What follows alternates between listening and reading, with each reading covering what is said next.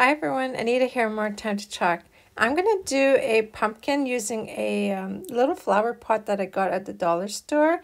And uh, I have clay. I'm going to do a stem with it. So you need to knead it, uh, roll it into like um, a nice stick, and then twist it and make sure that the uh, bottom is completely flat so that you can glue it on top of the flower pot. I'm using the colors um, Georgia Clay from uh, DecoArt, and this is acrylic paint.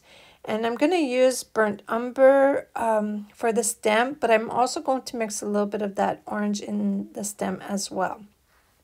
Now I would uh, do the stem the day before and really let it dry so that it uh, hardens uh, before you paint it.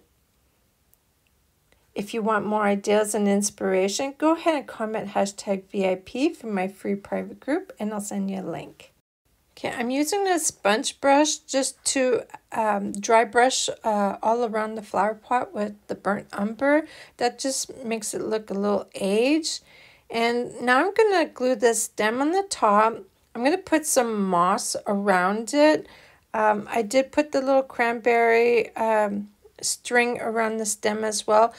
And then I, I kind of hid it a little bit um, with some more moss. But if you want, add your uh, stick first and then the moss.